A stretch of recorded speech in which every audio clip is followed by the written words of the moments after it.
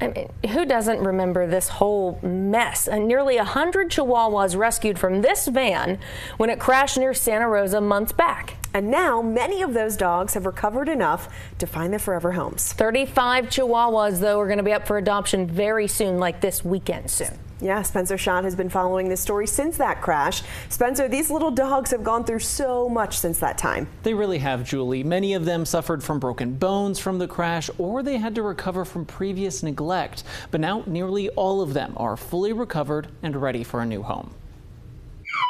They've all been vetted, spayed and neutered, microchips, all vaccinations are done. Um, we did have some surgeries, and those have recovered really well. All the, the dogs that we had doing physical therapy have come along really far. Chelsea Worley says it's a night and day difference from when these Chihuahuas first came to our rescue in the East Mountains to now getting ready for adoption. I am um, glad that these dogs ended up with us because I don't know what would have happened had they not. I mean, given the history, we know that he was probably planning to dump these dogs somewhere and they would not have received vet care. They wouldn't be spayed and neutered.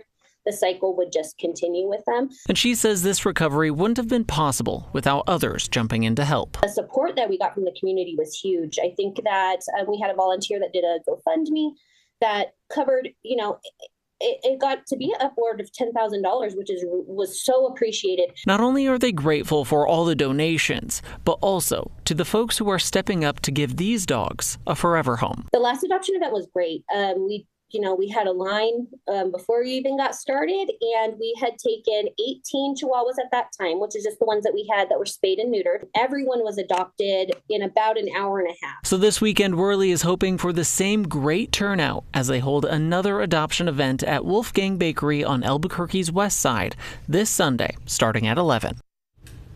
Now, I also checked in with the mayor of Santa Rosa to see if any charges will be filed against the driver. He told me they are working with the Animal Protection of New Mexico and the local district attorney to see if they were able to get any misdemeanor animal cruelty charges to stick.